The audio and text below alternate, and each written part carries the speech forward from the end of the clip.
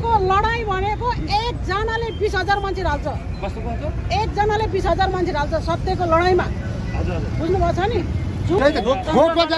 जलाउनु दोषी हो भने पाँच हजार मारे मान्छे मारेको हो भनेर छाती ठोक्ने मान्छे दोषी हो कि होइन? त्यस्ता मान्छे लाखौँको करोडौँको गाडी चढेर हिँड्ने देशमा त्यो आफ्नो घरमा पूजा गरेर नेताहरूको फोटो मात्रै जलाउँदा चाहिँ त्यो दोषी हुने भन्ने यो व्यवस्था कस्तो? को कुरा छ संविधानको कुरा छ। यिनीहरूले देश लुटे। यिनीहरूले हिँड्दा हिँड्दै मान्छे मारे। यिनीहरूले मान्छे मार्न पाउने। नेपाली जनता बेच्न पाउने। सुन्नु। नेपाली जनता बेच्न पाउने। होइन? यिनीहरूले जमिन बेच्न पाउने हेलिकप्टर प्लेन बेच्न पाउने हिँड्दा हिँड्दै मान्छे छप्काएर मार्न पाउने।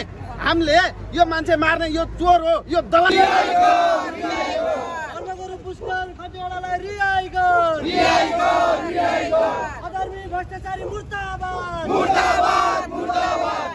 भ्रष्टाचारी मुर्दाबाद। मुर्दाबाद मुर्दाबाद लडाइँ भनेको एकजनाले बिस हजार मान्छे हाल्छ एकजनाले बिस हजार मान्छे हाल्छ सत्यको लडाइँमा हजुर हजुर बुझ्नुभएको छ नि जुन सत्यको लागि पूजा गर्दै गर्दा पुस्तक खटिवटाले जुन अहिलेका देशका उच्च ओदामा बसेका यी नालायक नेताहरूको दिमागमा एमराजको भन्दा पनि नराम्रो चाहिँ उनीहरूको दिमाग छ। त्यो दिमाग हटिजाउनु। त्यो दिमाग यी नालायक नेताको दिमाग चाहिँ एमराजले हरण गरेर लैजुन् र यिनीहरूलाई सद्बुद्धि आओस्। देश र जनताको लागि यिनीहरूले केही गरून् भनेर धर्मगुरुले पूजापाठ गर्दा गर्दै लेखक रमेश गृहमन्त्री अहिलेको उहाँको दिमागमा चेतना आएन कि तत्काल उहाँले पुष्कर खतिवटा पक्राउ गर्ने चाहिँ अनुमति दिनुभयो। जो अहिलेका गृहमन्त्री उनी नयाँ आउँदै गर्दा गृहमन्त्रीमा पनि अहिलेको नयाँ सोच होइन देशप्रति माया जनताप्रति सकारात्मक सोच उहाँप्रति पनि रहन्छ भने उहाँ पनि पुराना नेताभन्दा पनि घृणित व्यक्ति उहाँ हुनुहुँदो रहेछ। उहाँको लागि हामी चाहिँ अब फेरि अब हामी प्रत्येक जनताले पूजा गर्छौँ बुझ्नुभयो नि? आठ दसजना तपाईँहरू शान्तिपूर्ण आन्दोलन गर्ने भन्दाखेरि भएको थियो होइन। थोरै भएको चौकी बाहिरबाट खेदाइयो। मैले भनिसकेँ त एकजना पुष्कर खतिवडासँग त राष्ट्रपति गृहमन्त्री प्रधानमन्त्री डरायो भने दसजनासँग एउटा प्रहरीविद गर्नु ठुलो मैले भनिसकेँ त एकजनासँग त सिङ्गो देश चलाउने व्यक्ति हल्यो भने दसजनासँग एउटा महाराजगञ्जको प्रहरीविद गराउनु ठुलो कुरो भएन नि। हामीसँग त डराउनु भएको हो नि उहाँहरू तपाईँहरूले धर्मगुरु कुशर खतिवडालाई निशर्त रिहाई गर भन्दै गर्दा धर्मगुरुले नेताहरूको फोटो जलाउन पाइन्छ त संविधान विपरीत थिएन। पाइन्छ। हजुर पाइन्छ। जुन नेताहरूले चाहिँ कुर्सीमा बसेर नेपाली जनता र देशलाई जिउँदै जलाउन मिल्छ भने नेताको फोटो जलाउन मिल्दैन? देश बेच्दा हुन्छ नेपाली जनता बेच्दा हुन्छ देशको नियम कानुन बेच्दा हुन्छ भने तिनीहरूको फोटो जलाउन हामी पाएन विपरीत अब हामीलाई सुन्नुहोस् मैले भनिसकेँ त। जुन मान्छेको किडनी नै नकली किडनी राखेर फोटोकपी किडनी राखेर बसेको प्रधानमन्त्री उसलाई डर छैन। उसलाई त ज्यानको माया रहेछ भने हामी त देश चाहन्छौँ नेता चाहँदैनौँ हामी। हामी राष्ट्र राष्ट्रियता र धर्म चाहन्छौँ हामी। यस्ता धर्मनिरपेक्ष गर्ने नेता चाहँदैनौँ। जो कि आजभन्दा दुई वर्ष पहिला साउनको महिनामा पशुपतिमा मैले पिटेको प्रधानमन्त्री अहिले उच्च ओदामा छ। बुझ्नुभयो नि? यस्ता प्रधानमन्त्री हामीलाई चाहिँदैन। हामीलाई राष्ट्र र राष्ट्रियता र धर्म चाहियो। हो? जसको दिमागमा धर्म र राष्ट्र राष्ट्रियता छैन भने यस्ता नेता कुर्सीमा बसेर के काम छ? हामीलाई हामी प्रत्येक व्यक्तिले भोलि पूजा गर्छौँ घर घरमा। नेपाल प्रहरीले कतिजना उठाउने हो त? लगेर पाल्न सक्छ भने राष्ट्र र राष्ट्रियता धर्म मान्ने सम्पूर्ण नेपाली लगेर थुन्ने त हामी घर घर प्रति व्यक्ति पूजा गर्छौँ अब। कतिजना उठाउने? गर्छौँ हामी। गर्ने मजाले गर्छौँ। प्रति व्यक्ति घर घरमा गर्छौँ हामी। किन पाइन्न? यिनीहरूले जनता बग्नुहोस् देश र देश र जनता नेपा नेपाली जनता र नेपाल भन्ने राष्ट्र नेताले मारिरहँदा हामीले नेतालाई मार्न पाउनु? पाँच हजार मान्छे मारेर छाती ठोकेर मैले मारेको भन्ने मान्छे टुरी खेलमा भन्ने मान्छेले स्वीकार गर्ने मान्छे चाहिँ खुलायाम लाखौँ करोडौँको गाडी चढेर हिँड्न पाउने देशमा आफ्नो घरमा चाहिँ शान्ति होस् भनेर आराधना गरेर आइएमको पूजा गर्न पाइँदैन। होइन उहाँले यमराजसँग के के भने खोइ अब हामीले भाषा बुझ्दैनौँ पण्डितको होइन? अँ। नेताहरूको फोटो जलाउनु भयो प्रधानमन्त्रीको जलाउनु भयो। अँ। त्यस्तो गर्न पाइएन ल तपाईँहरू स्पष्ट तरिकाले त्यही त फोटो ज- फोटो जलाउनु दोषी हो भने पाँच हजार मारे मान्छे मारेको हो भनेर छाती ठोक्ने मान्छे दोषी हो कि होइन? त्यस्ता मान्छे लाखौँको करोडौँको गाडी चढेर हिँड्ने देशमा त्यो आफ्नो घरमा पूजा गरेर नेताहरूको फोटो मात्रै जलाउँदा चाहिँ त्यो दोषी हुने भन्ने यो व्यवस्था कस्तो?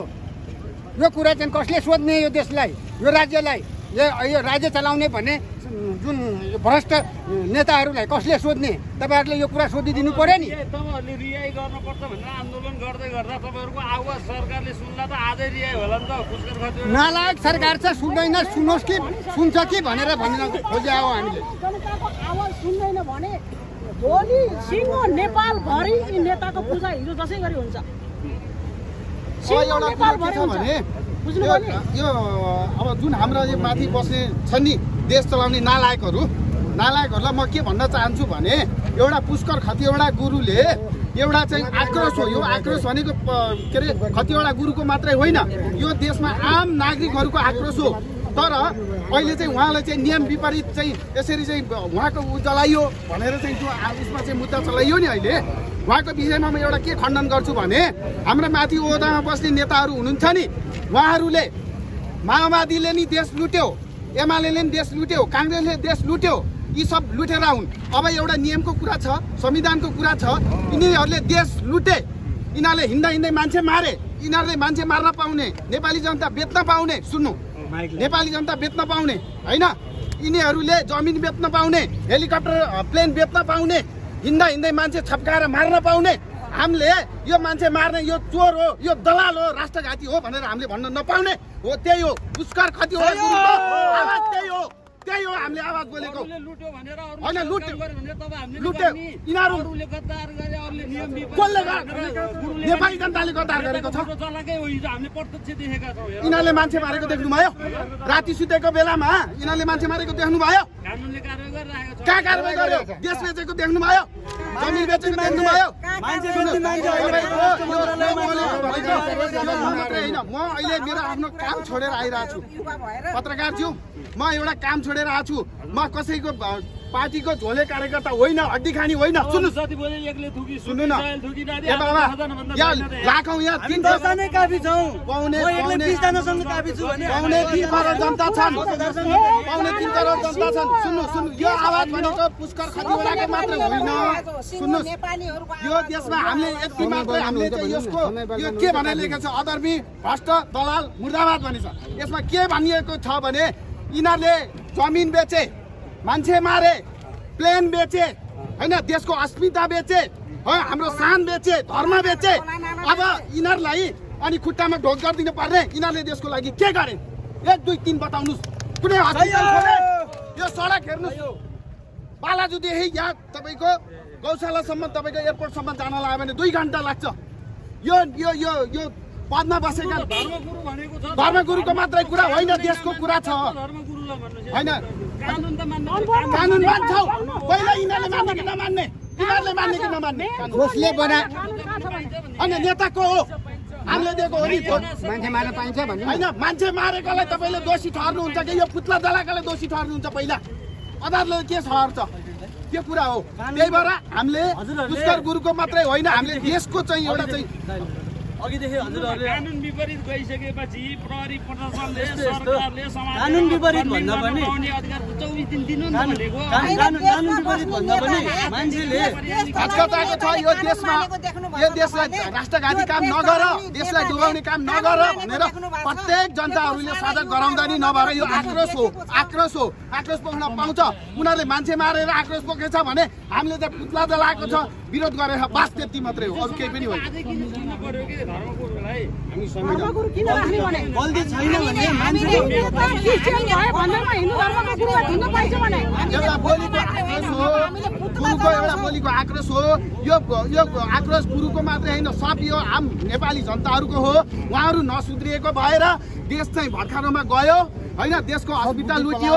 होइन देशमा चाहिँ के अरे पुरै भ्रष्टाचारी भयो देश बनेर हेर्नुहोस् बाटोघाटोको अवस्था ट्राफिक जाम हेर्नुहोस् यो सब चाहिँ दोष यो नेपाल सरकार हो। किन कर? मैले तिरेको छु। मैले कमाएको छु। मेरो पैसामा चाहिँ नेपाल सरकारका मन्त्री बनाउँदा यो राष्ट्र के बनाउँदा यिनीहरूले सब लुटेर खाइरहेको त्यसको आवाज हो होइन, पुष्पर कतिवटा गुरुको कुनै बानी आनी बानीसँग मेरो कुनै ऊ होइन। उहाँको चाहिँ उहाँको चाहिँ जुन आवाज छ आवाज छ हो त्यो आवाजलाई लिएर उहाँले जे बोल्नु भएको छ सत्यता बोल्नु भएको छ हो ठिक छ उहाँले केही काम नराम्रो कामहरू चाहिँ संविधान विपरीत गर्नुभयो होला। मान्छु म ठिक छ। सुन्नु न। होइन गर्नु। गर्नुभयो होला मैले माने संविधान विपरीत काम गर्नुभयो होला। ल ठिक छ उहाँ जनता हो तर पदमा बस्ने पदमा बस्ने चाहिँ हाम्रा नालायकहरूले कतिवटा संविधान चाहिँ उहाँहरूले उल्लङ्घन गर्नुभएको छ देश बेच्नु भएको छ मान्छे मार्नु भएको छ उहाँहरूलाई नियम कानुन लाग्दैन। पहिला उहाँहरूलाई कारवाही गरेर बल्ल पुष्प हाम्रो गुरुलाई चाहिँ कारवाही गर्नुपर्छ भन्ने कुरा हो। गुरुलाई छिटो गलत गरेकालाई कारवाही गर्नुहोस्, नगर्ने होइन। त्यस्ता भोटाहरू प्रति व्यक्तिको घरमा जल्छन् क्या भोलिबाट। पुष्कर गुरु भनेको हिन्दू धर्मको एक प्रतीक हो जुन नालायक नेता हिन्दू धर्म निरपक्षित गरेर बसेका नेता हुन् एउटा धर्ममाथि सबभन्दा ठुलो प्रहार भयो पुष्कर गुरु भन्दा पनि धर्ममाथि प्रहार भइरहेको छ अहिले यो आन्दोलन बढ्छ बुझ्नु भयो नि? लिन्छ यो आन्दोलनले मैले भने। प्रति व्यक्ति आज बिउ मात्रै रोपिएको आज बिउ मात्रै रोपिएको हो यो भोलिको दिनमा विशाल हुन- रूप हुन सक्छ प्रत्येकको घरमा आजको मितिदेखि हुने सक्छ तपाईँहरूले यहाँ दसजना देख्नुभयो नि हामीले सयजना बल्ल टारमा खोटाएका छौँ। धर्ना बस्नलाई जबसम्म पुष्कर खतिवटा रिहाई हुनुहुन्न तबसम्म हामी बल्ल जा यहाँ चक्रपथको चोकमा बस्नुपर्छ कि? बल्ल टारको चोकमा बस्नुपर्छ कि? हामी सिंहदरबार बस्नुपर्छ कि? हामी बालकोट बस्नुपर्छ हामी धर्ना बस्न गइरहेका छौँ। तपाईँले दसजना देख्नु भएको छ हामी सरकार विरुद्ध दसजना गाविस जबसम्म पुष्कर खतिवटाले रिहाई पाउनुहुन्न न्याय पाउनुहुन्न तबसम्म हामी यही धर्ना बस्छौँ यही खान्छौँ यही सुत्छौँ यही बस्छौँ यही सडकमा सुत्छौँ। अब जनताको आक्रोश बढिसकेको छ। पुष्कर खतिवटा जस्तो महान व्यक्ति धर्मगुरु पाउनु भनेको यो नेपालले सच्चा छोरो पाउनु हो। तपाईँलाई एक्काइस तोपको सलामी छ। तपाईँलाई सम्पूर्ण नेपाली जनताको साथ र सपोर्ट छ। तपाईँ ढुक्क हुनुहोस्। तपाईँ जहाँ हुनुहुन्छ तपाईँ ढुक्क हुनुहुन्छ तपाईँको साथमा हामी छौँ। सम्पूर्ण नेपाली जनता छ। सम्पूर्ण धर्मगुरुहरूको साथ छ सपोर्ट छ। हाम्रो आन्दोलन जारी रहनेछ। जबसम्म पुष्कर कतिवटा ज्यू रिहाई हुनुहुन्न तबसम्म हामी सडकमा सुत्छौँ सडकमा बस्छौँ सडकमा खान्छौँ। यो कसैले रोकेर रोकिन्न यो कसैले झेकेर झेकिन्न न त माओवादीले झेकेर झेकिन्छ न त एमाले झेकेर झेकिन्छ न त काङ्ग्रेसले झेकेर झेकिन्छ न त गृहमन्त्रीले झेकेर झेकिन्छ। त्यसका लागि पाइला पाइलामा बलिदान दिन तयार छौँ। ढुक्क हुनुहोस् पुष्कर कतिवटा गुरु। तपाईँको लागि साथ छ बलिदान छ। त्यसका लागि खटे खटी आएका छौँ? हामी ढुक्क हुनुहोस्। बट हाम्रो आँखाले देखेको दसैँजना हो सयजना भनिदिनु त परेन नि हामीले के भन्छ त? सबैले यहाँ देख्दाखेरि जङ्गल आगो लागेको देख्नु भएको छ। सच्चा स्वतन्त्र व्यक्ति एकजना भए सिङ्गो देशलाई काफी हुन्छ। बुझ्नुभयो नि एक काटी सलाइले जसरी जलाउँछ नि जो सोध्छ र सच्चा छ त्यो एकजना भयो भने मैले धर्मगुरु पुष्कर खतिवडालाई रिहाई गर रिहाई गर रिहाई गर अधर्मी भ्रष्टाचारी मुर्दाबाद मुर्दाबाद मुर्दाबाद अधर्मी भ्रष्टाचारी मुर्दाबाद मुर्दाबाद मुर्दाबाद पुष्कर खतिवडालाई रिहाई गर रिहाई गर रिहाई गर पुष्कर खतिवडालाई रिहाई गर रिहाई गर रिहाई गर भ्रष्टाचारी सरकार मुर्दाबाद मुर्दाबाद मुर्दाबाद भ्रष्टाचारी सरकार मुर्दाबाद भ्रष्टाचारी सरकार मुर्दाबाद मुर्दाबाद मुर्दाबाद पुष्कर खतिवडालाई रिहाई गर रिहाई गर रिहाई गर पुष्कर खतिवडालाई रिहाई गर रिहाई गर रिहाई गर पुष्कर खतिवडालाई रिहाई गर रिहाई गर रिहाई गर अधर्मी भ्रष्टाचारी मुर्दाबाद। मुर्दाबाद मुर्दाबाद। अधर्मी भ्रष्टाचारी मुर्दाबाद। मुर्दाबाद मुर्दाबाद। गणतन्त्र गनायो। गणतन्त्र गनायो। गणतन्त्र बनायो गणतन्त्र मुर्दाबाद। मुर्दाबाद मुर्दाबाद। धर्म निरपेक्षता खारेज गर खारेज गर खारेज गर धर्म निरपेक्षता खारेज गर खारेज गर खारेज गर पुष्कर खतिवडालाई रिहाई गर रिहाई गर रिहाई गर पुष्कर खतिवडालाई रिहाई गर